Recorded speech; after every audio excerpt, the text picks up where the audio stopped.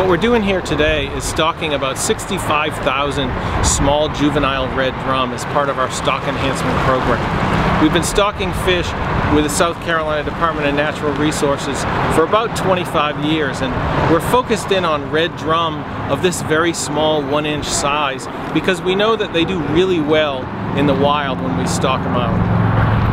It's very important for us to stock fish for a couple reasons.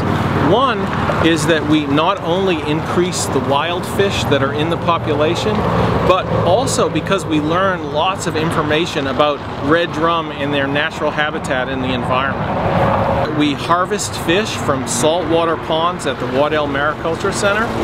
We haul them in our specially designed hauling truck here in back of me that's equipped with oxygen and we bring the fish to the landing and we transfer them, transfer them into boats and we carry them out into the high marsh and release the fish in, a, in an area where they're able to disperse at high tide to avoid predators.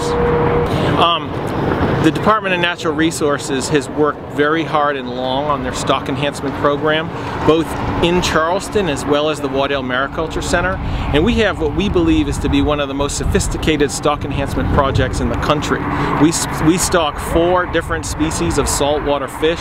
All of our fish are genetically fingerprinted. The DNA from the adults we're able to then understand when we go out and capture fish from the wild in subsequent years as to whether they're a wild fish or they're a hatchery fish.